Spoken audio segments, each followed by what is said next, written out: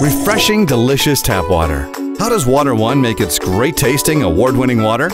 Well, it all starts at the rivers. WaterOne gets its water from the Kansas and Missouri rivers. From there, it flows to one of our two water treatment plants. Each facility is tailored to treat the unique qualities of its water sources, but generally the process has six steps. Once raw water is collected from the rivers or from naturally filtered wells next to them, the water is either pumped to large enclosed basins where debris and other impurities settle out or aerated to remove iron and manganese by circulating air through the water. The water may then go through its first disinfection to improve its quality and taste. Next, the water is softened by reducing its natural levels of calcium and magnesium. Then the water is stabilized to the proper pH.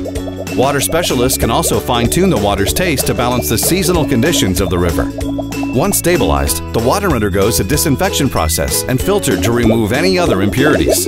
Depending on the time of year, the entire process takes between 8 and 30 hours to go from raw river water to high-quality tap water. This goes on 24 hours a day, 365 days a year.